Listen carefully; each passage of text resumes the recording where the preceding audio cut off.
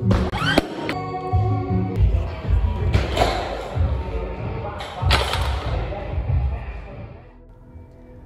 am fortunate enough to say that I have always maintained a healthy lifestyle and active lifestyle, even up to today in my 40s.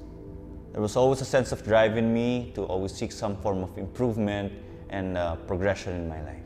And in my line of work, in, of course in show business, it's no secret that there is always a level of aesthetic that we always have to aim for. Which is why a lot of my workouts now were focused on building that beach body look. However, there were definitely a number of speed bumps in my journey.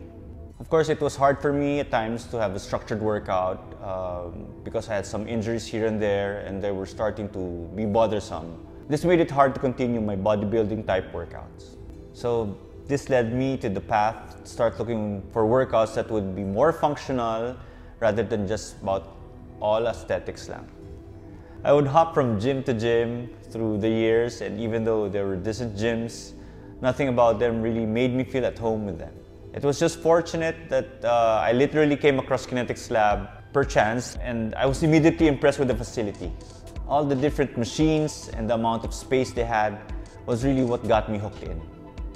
And uh, what I liked about Kinetix Lab is not only did the gym have the functional equipments I needed, they have their own recovery room where physical therapists can assess and treat any aches and pains that I would have Recently, I had a treatment done in the recovery room for my um, calf and um, aging knee. And after a few days, I can already feel my calf getting better and my knee pain with the swelling is gone already.